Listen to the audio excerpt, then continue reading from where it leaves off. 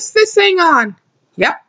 Hello, everybody. This is Jev Rango here. And on Saturday, I made a new Thomas and Bob the Builder double feature. This time, it's a double feature of Carnival Capers and Built to be Wild. Yeah. So there is the front, the spine, Here's the Mattel Carnival Capers. A portrait of Percy built to be wild. Picture of Bob with the DVD and Universal logo. A back.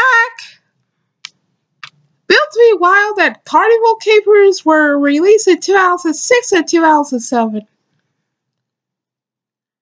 Carnival Capers DVD features have has six fun-filled episodes. And they built and the Bob the Builder built to wild. DVD features are Minecraft Adventure, Singing Along Songs, Wild West Extras, and Deleted Scenes. You want to know why I added the DHX Media logo?